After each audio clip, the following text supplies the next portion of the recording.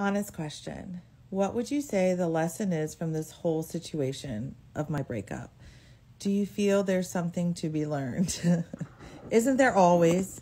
The biggest lesson is that there's no guarantee in love.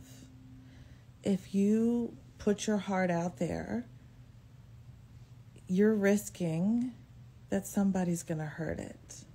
But that is just the way life is. You can't have the rainbows without the rain.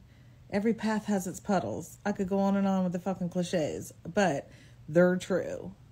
Let me give you this analogy.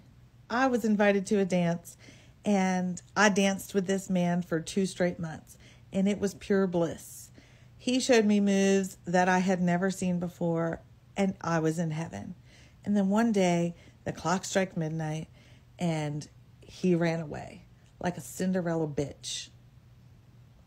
First of all, I ain't running after you. I'm not dancing with a disappearing partner. Second of all, I am going to go find myself a chair and I'm going to sit down. I'm going to ice my feet. I'm going to lick my wounds.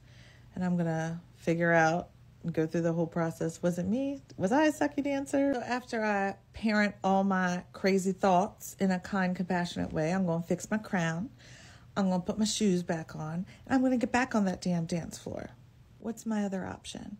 I sit in that damn chair on the sidelines watching everyone else dance and have fun? Hell no. I see couples out there dancing that have been dancing for 20, 30 years and they're still happy and in love. And that's what I want. So I'm going to keep dancing until I find that. If you hide from the pain, you end up hiding from the joy. And I ain't hiding from shit. I'm going to just freaking squeeze every ounce of joy I can out of this life. I have this one life to live.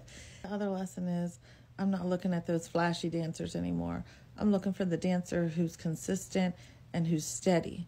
Because those flashy dancers, they will trip you up real fast. So I had to change my preferences. I'm going to start going for dance partners I wouldn't normally go for. This should be fun. We're crazy. Uh-huh.